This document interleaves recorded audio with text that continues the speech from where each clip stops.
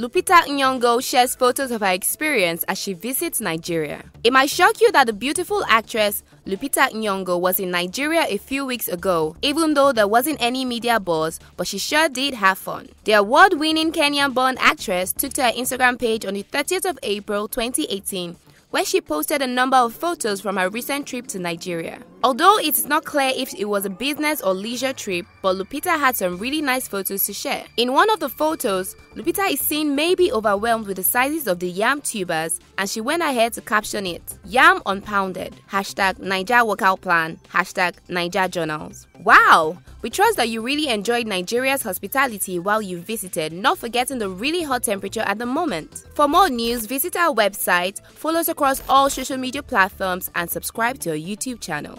Always stay connected and get free and personalized stories delivered directly to you. Download the new Pulse Buzz app for free now.